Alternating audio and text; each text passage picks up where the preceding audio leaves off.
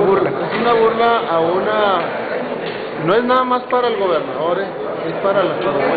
Porque, porque Chihuahua es tierra de encuentro de muchos temas importantes, de inversiones, de inversiones económicas, de conciliación en trabajo político, de conciliación en trabajo de todo tipo.